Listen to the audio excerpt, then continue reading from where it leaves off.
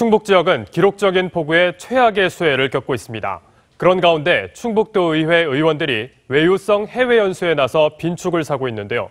충북도 의회는 해외 연수에 나섰던 도 의원들에게 출국 하루 만에 조기 귀국 조치를 내렸습니다.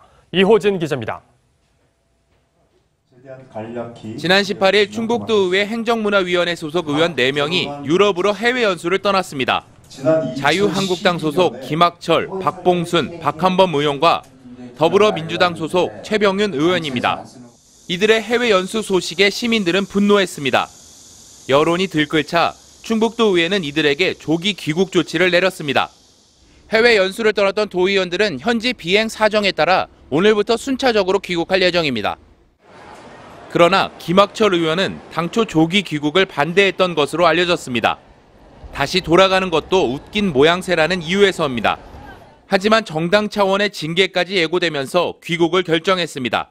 일으켰거나 사회적으로 무해를 일으켰거나 이런 게 있으면 그런 거에 해당되면 징계를 할 수 있기 때문에 저기 자체 조사를 통해 가지고 윤리심판원에서 징계를 하겠다고 그렇게 발표했습니다.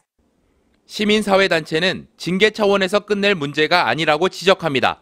당천의 징계는 반드시 있어야 되고 더 나아가서는 이후에 공천 배제까지도 각 당은 좀 확인을 할 필요가 있다. 충북도 의회는 이들이 모두 귀국하는 대로 윤리특별위원회에 회부할 방침입니다. TV조선 이호진입니다.